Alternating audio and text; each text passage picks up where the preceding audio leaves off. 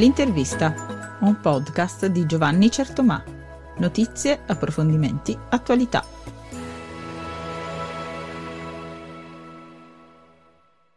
Un saluto e un abbraccio a tutti gli ascoltatori che ci seguono in podcast, naturalmente puntata dedicata all'atletica leggera, ma quella giovanile, quella studentesca, perché dal 28 al 30 di maggio si sono disputati a Pescara le finali dei campionati studenteschi d'atletica leggera su pista e molto folta la delegazione calabrese, mi pare una settantina di atleti, il capo delegazione, l'amico Fausto Certomac che accompagnava i suoi atleti, quelli dell'Istituto di Istruzione Superiore Mazzone di Roccella Ionica, ma eh, lui in qualità di eh, componente della, dell'organismo regionale per lo sport scuola dell'ufficio oh, calabrese e anche tra l'altro formatore territoriale responsabile regionale del fit walking, eh, sicuramente può raccontarci come è andata questa esperienza. So Fausto che siete in viaggio, quindi quindi state tornando in Calabria, quindi sicuramente sentiremo dei rumori di sottofondo. Eh, raccontaci com'è andata questa esperienza che eh, mi pare, al di là dell'aspetto sportivo, fosse legata anche eh, alla festa delle, delle, regioni che c'è stata, quindi un'ottima e straordinaria occasione di eh, condivisione anche del, delle abitudini, mi pare, culinarie e gastronomiche. Fausto.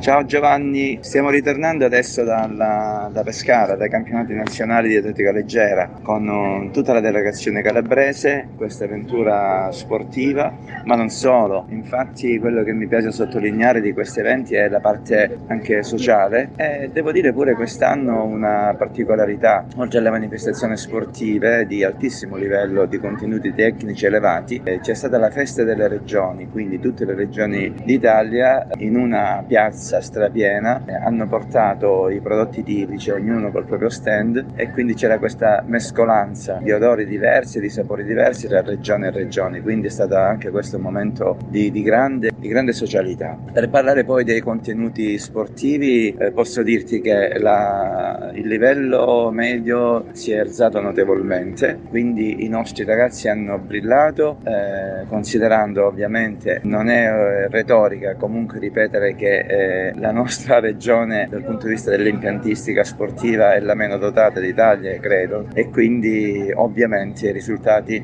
eh, ottenuti sono dei miracoli. Quindi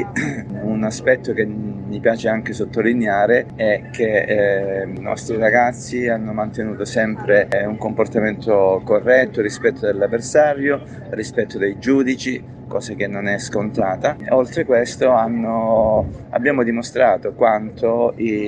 quanto lo sport è, è, un fattore di inclusione. Molti dei nostri ragazzi eh, paralimpici hanno ottenuto anche dei risultati interessanti, sono andate in medaglia, abbiamo preso eh, sei medaglie e quindi anche dei risultati notevoli, per esempio nel lancio del peso, categoria allievi, abbiamo avuto un quinto posto nazionale, un decimo posto per quanto riguarda la la corsa ad ostacoli nazionale, quindi tra i primi 10 d'Italia, ma per più discipline, oltre alle medaglie che ho citato prima dei, dei, dei ragazzi. Quindi eh, la, la, l'esperienza è stata positiva, positiva e noi come Istituto Mazzone di Roccella ormai penso abbiamo, eh, stiamo facendo una, abbiamo creato una tradizione diciamo perché è la seconda volta che, che andiamo a Pescara, su due volte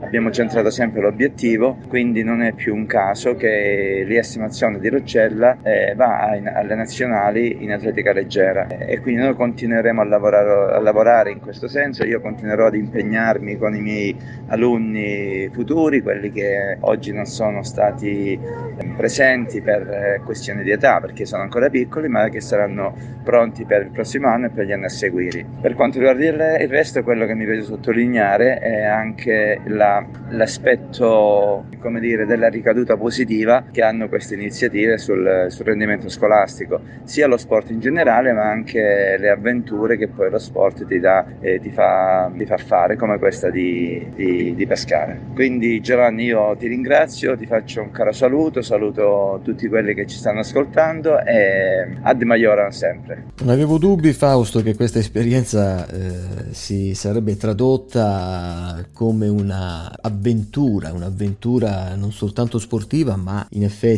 molto più vasta, molto più larga. Del resto noi sappiamo benissimo quanto sia importante lo sport come strumento di valorizzazione dei nostri ragazzi, di responsabilizzazione, come strumento di condivisione e anche di inclusione. Io vi lascio in tranquillità rientrare nella nostra amata Calabria. Ricordiamo eh, questa straordinaria esperienza vissuta dalla delegazione calabrese ai recentissimi campionati nazionali studenteschi di atletica leggera che si sono disputati su pista. Sono convinto che nei prossimi anni questa tradizione della presenza di atleti, di ragazzi calabresi nelle fasi finali a livello nazionale canale crescerà sempre di più. Io vi ringrazio del cortese ascolto e vi rimando al prossimo podcast.